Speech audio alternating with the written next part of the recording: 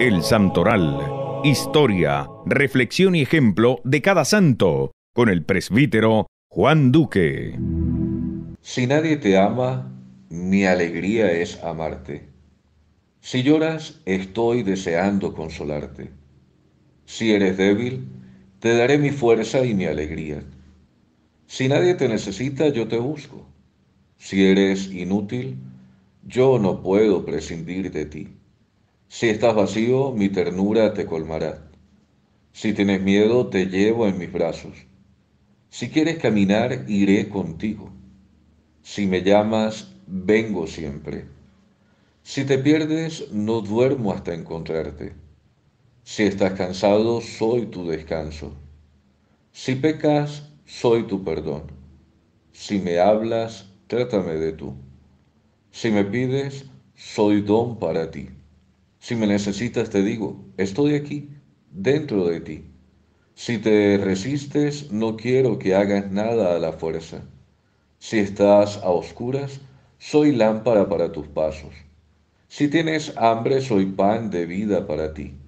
Si eres infiel, yo soy fiel contigo. Si quieres hablar, yo te escucho siempre. Si me miras, verás la verdad en tu corazón. Si estás en prisión, te voy a visitar y te liberaré. Si te marchas, no quiero que guardes las apariencias. Si piensas que soy tu rival, no quiero quedar por encima de ti. Si quieres ver mi rostro, mira una flor, una fuente, un niño. Si estás excluido, yo soy afiliado. Si todos te olvidan, mis entrañas se estremecen recordándote. Si no tienes a nadie, me tienes a mí. Si eres silencio, mi palabra habitará en tu corazón.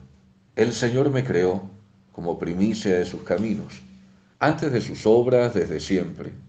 Yo fui formado desde la eternidad, desde el comienzo hasta los orígenes de la tierra. Así cuando no existían los abismos, cuando no habían fuentes de aguas caudalosas. Yo estaba a su lado como un hijo querido y lo deleitaba día tras día, recreándome delante de él en todo tiempo, recreándome sobre la faz de la tierra, y mi delicia era estar con los hijos de los hombres. Proverbios capítulo 8 versículos 22 al 31.